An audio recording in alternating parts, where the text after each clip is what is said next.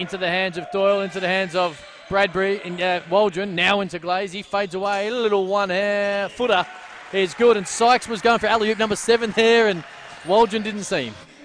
As a jersey Wait, grab. wait who, who's the superstar and who's overrated? in your- Marcus Aldridge, Who's overrated. Oh, first quarter, NBL 1 matchup, Wildcats v the Hawks, last year's Big V Grand Final Game 3 series. As Glaze gets wide open for a three, Stu went under the screen and said, shoot that if you want, and he did and found bottom of the net. uh, NBL one or uh, any other league for that matter at the moment. I'm quite happy with my Masters team, the has-beens. Yep. Quarter of the way he's playing defense at the moment. As he tries to do it on offense down the other end, tried to draw a foul. In Two the end, couldn't balls finish just it. to throw as Glaze well, able to come over the top. Photo Pretty- of that, that's in the pool room.